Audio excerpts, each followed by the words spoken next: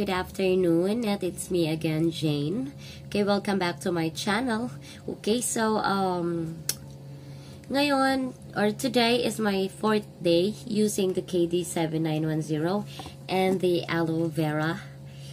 Aloe vera by BioAqua. Okay, so, um, nakita nyo, uh, iba yung background ko. Nag, uh, andito ako sa room ko ngayon at I'm uh, favorite ko talaga si Kitty. Okay? So, ngayon mga kabuhay, um, papakita ko na sa inyo kung na medyo umokay na siya. Nag-light na rin siya talaga.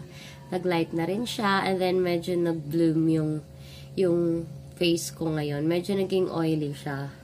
In fairness. Okay? So, uh, just watch lang mga kabuhay kasi ina, um, parang ginawa ko siyang mga 10 minutes, okay? Tinagalan ko masyado yung pag-ano sa kanya para mas effective din siya. Though, 4 days pa lang naman, meron pa akong 3 days. So, uh, uh, kaya pa, kaya pa. I think, basta, uh, ito, numipis na siya mga kabuhay. Okay? So, medyo nag-ano nga lang. Ayan. So, nag-red. So, okay, mga kabuhay, watch lang. Okay?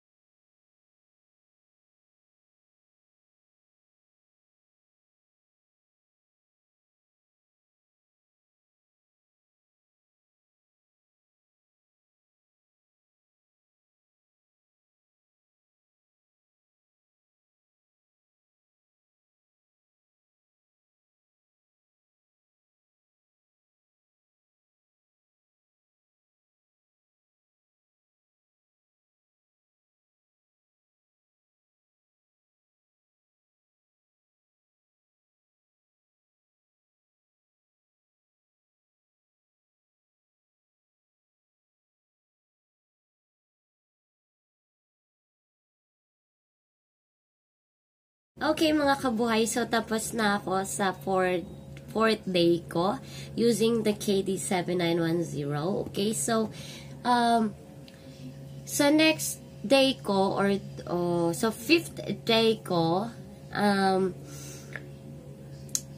mag 10 minutes pa rin ako just like sa nga, ngayong fourth, fourth day ko para talagang mag-effect siya just basta uh, on my side or based on uh, on my forte experience using the KD7910 or 0 ano siya um, talagang nag, nag parang talagang numipis siya nawala yung kapal niya nawala yung laki niya sa loob. Oo um, though medyo nag-red siya maybe because um, tin, inano ko nga parang dinikit ko yung ano dinikit ko yung yung yung laser, alright? Or yung yung item, dinikit ko siya or yung KD 7910, dinikit ko talaga siya sa balat. So, nag-init siya, though he, I swear, hindi siya, di nakakapaso. Okay? So, uh, mga kabuhay, uh, I still have 3 days more to go para matapos ko yung 7 days challenge ko. Okay? And, um, ito pa rin, uh, yun pa rin ginagamit ko na panghilamos is the rice water, right? So, mga kabuhay, kung nanonood pa man kayo, first time yung pang manood dito sa vlog ko or sa channel ko, don't forget to subscribe, like, and comment na lang, okay? So, thank you for watching sa mga nanood na. Thank you so much sa mga nag-subscribe na.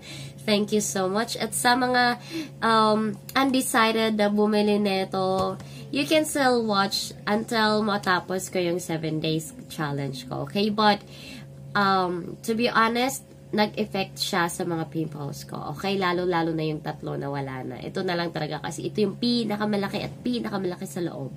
Okay? So, thank you mga kabuhay. See you next time. Ingat kayo. Bye!